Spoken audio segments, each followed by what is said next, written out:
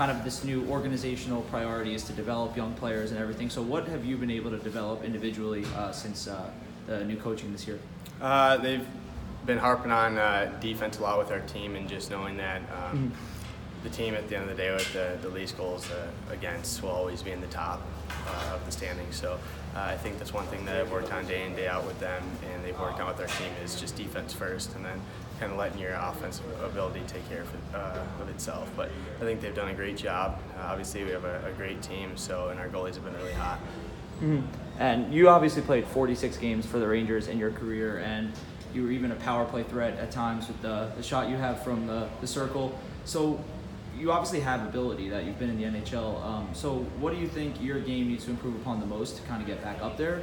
And obviously, like you're right there with some of the guys that are on the team right now. So Um, just staying consistent. I think that's the biggest thing with NHL players is you gotta uh, make sure that when you're having an off night, it's going to be a B night and not a C or a D night. You know, uh, I think that's like one of the biggest things is uh, trying to bring your A game every night. But when you don't bring your A game, bring your B game.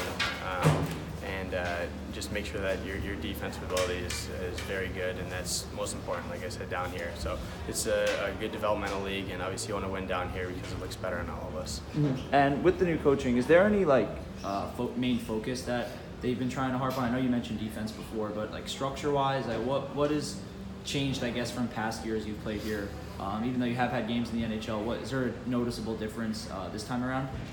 Uh, you know, I think we're just taking it one weekend at a time, and we have uh, little segments. We want to win. We have like 11 segments that we broke down the season. We want to get four wins every segment. So I think it's just taking one game at a time. And uh, like you said, the structure is so important, um, and that, that defensive uh, ability in our team is just we can't harp on that enough. It starts with our goalies; they've been outstanding for us.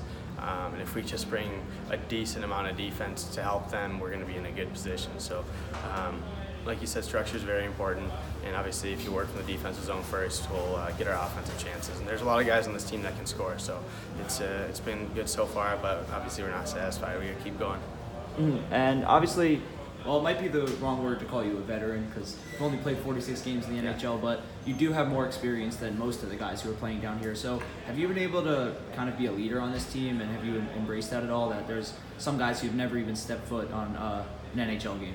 Yeah, I mean, obviously, I'm not a, veteran in the NHL by any means yet, uh, but like you said, I've, I've, I've been there and I've seen guys uh, played with like Rick Nash and McDonagh and uh, a bunch of older guys there that that've been in the league for a long time. Um, and just watching them, you, you take some stuff away from them just to, to help bring when you come down here. But um, there's a lot of good leaders on this team. Uh, I'm, I'm trying to be one of them, but obviously uh, we have our captain Steven Fogarty right now that leads us in just the best way possible. He's a great A guy.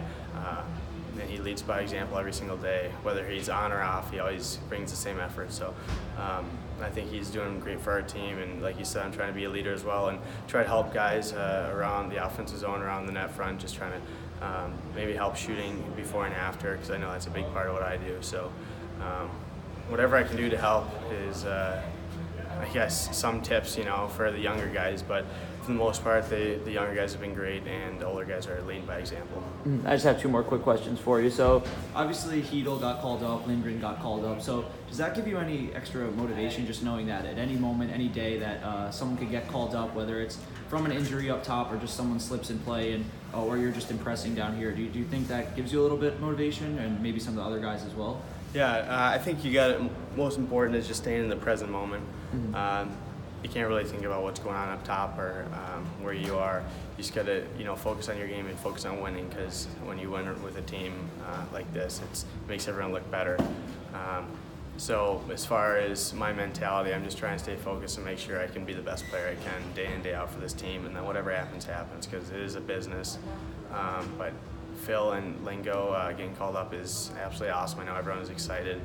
Lingo's one of my best buddies too from back home, so um, seeing him score that first goal uh, two nights ago was just awesome. I know everyone was pretty ecstatic, but yeah, you obviously want to get called up. Uh, no one wants to not be in the NHL, so it's it's just a, a long process, and you just gotta take it day by day. Mhm. And my last question is when you were in the NHL, you obviously had the, the luxury, and so did everyone on the Rangers, of playing in front of Henrik Lundqvist at times. And now you're in the AHL playing in front of the AHL goalie of the month, and Igor. And he obviously has been considered one of the, the big future pieces for the Rangers. Uh, throughout maybe the next decade is, is what a lot of people are saying. So, what is it like just playing in front of that? Does it give you guys just this sort of ease knowing that your goalie's going to have your back? Obviously, it doesn't mean you should just lose all your structure, but just what has it been like playing in front of him, and what, what do you think of his play so far?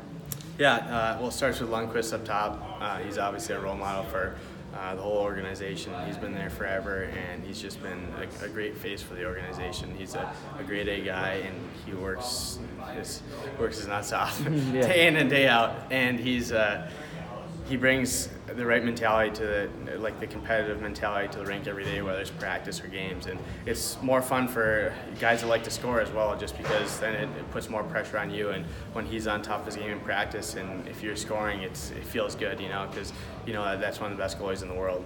Um, and then coming down here and playing with uh, Igor and Huska, they're both unbelievable goalies, and they are the backbones of our team right now. Um, but they're they're looking outstanding right now, and uh, if this just stays the way it is, they're going to be big time goalies in the NHL. So. Uh, props to them, and obviously we got to help them out too because they can't just can't be relying on them day in and day out. But they've been awesome for our team.